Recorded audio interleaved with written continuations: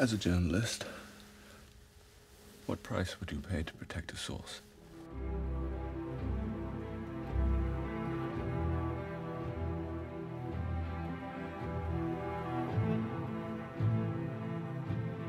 Would you be prepared to compromise your safety?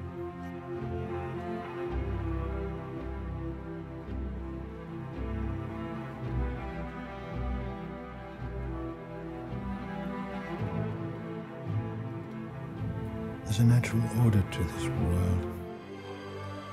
And those who try to upend it do not fare well. This movement will never survive.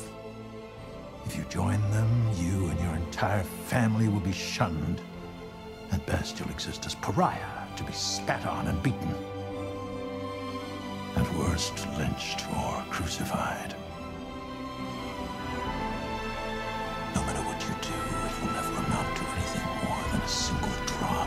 Limitless ocean. What is an ocean but a multitude of drops?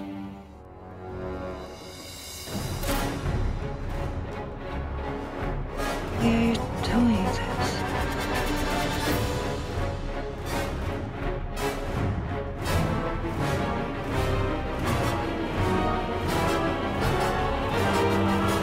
Because I believe you have the power to change this world. I will guide you through the devil's door.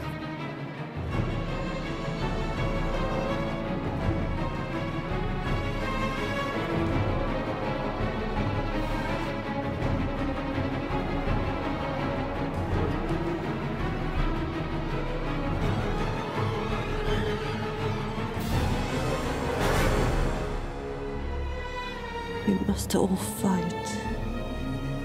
And if necessary, die.